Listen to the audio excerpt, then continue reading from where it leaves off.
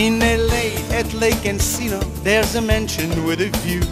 It belongs to Valentino, charming guy, good looking too.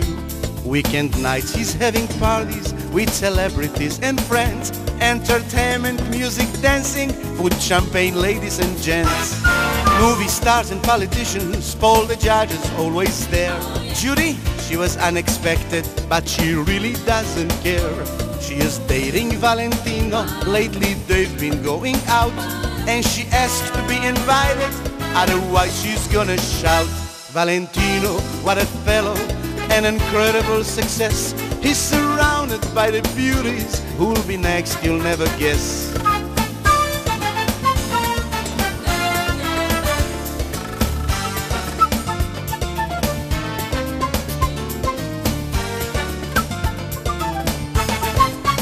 I was told that at these parties is the best place to obtain good directions and connections if I'll sing and entertain. Valentino knows producers everywhere in Hollywood.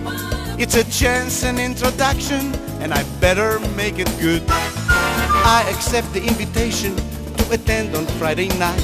Entertaining Valentino, I knew I could do it right. So I gave my best performance, complimented by the crowd. They were dancing to my music, I was really very proud. Valentino, what a fellow, an incredible success. He's surrounded by the beauties, who'll be next you'll never guess. Valentino makes donations to the poor, to everyone. And they said he has intentions on election day to run.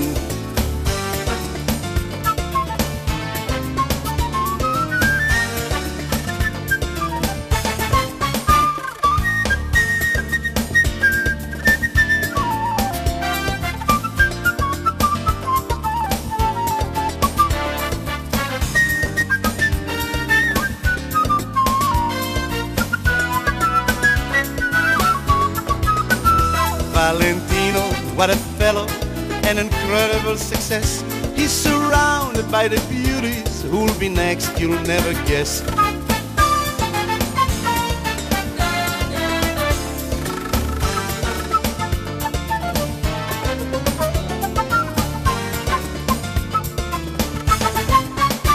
What a party and excitement, all the guests are having fun.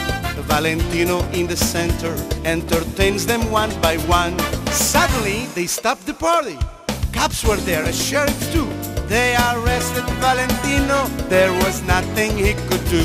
Valentino, what's the matter? Why a warrant? Why arrest? Bills I didn't pay, amigo. Call my lawyer, he's the best. Don't you worry, says the fellow. Valentino has no doubt in LA with my connections, Valentino. We'll be